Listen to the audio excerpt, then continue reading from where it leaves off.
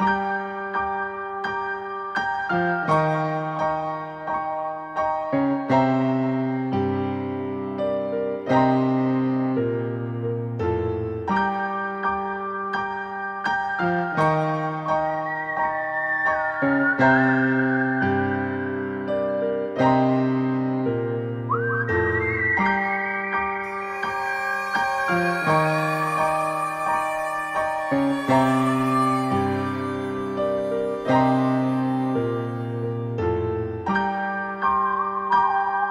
start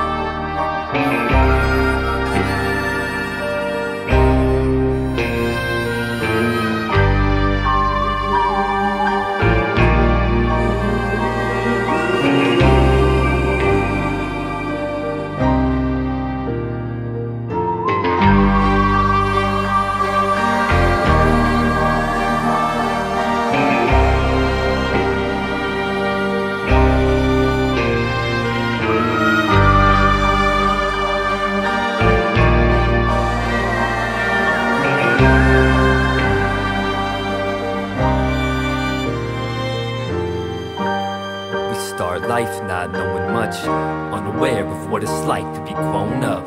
This story unfolds with a boy and his soul and an idea that would play a poisonous role. Now, he's not your typical archetype, lost child brought up on Bibles and market hype. Nah, he's the antithesis of orthodox. We've seen the dissonance of people living in Pandora's box. He'd given more to thought not to afford a lot and stopped at a door to knock every day at four o'clock. Oddly auspicious and brazen, not a shredded out had been about on this occasion. Now we can tell you what he was asking for. But that's really not the point. Let's just say the world pieces, destined for disaster. People can't be on the same page and be in different chapters. The subject of the books he studied mostly didn't matter. They could make him shed a tear or elicit laughter. He didn't play, he hid away above the kitchen rafters and found the knowledge that he gained to be a fickle master. The more he understood, the less he was sure that anyone's possessed intentions were especially pure. His desire to share the recipes he kept in a drawer would inspire his daily walk to knock on destiny's door. And when it opened, how his mind would explore, he grew to find some peace and quiet in the violence and gore. He excelled in school assignments on the tyrants of war and found himself preoccupied with what he tried to ignore. An orphan, problem child of divorce, he was tired and sore. Scattered it was time to abort, he noticed that the ball was sliding toward his side of the court. And now his luck of the draw had finally changed. Puzzled as he chuckled and hard, tried to explain. How in ostensibly cursed life reversed right in front of his eyes, right before his demise. Now a budding scholar, he identified the vital link between the human psyche and the science of survival. But something sinister his story would become. Join us in the next chapter, cause the journey's only just begun.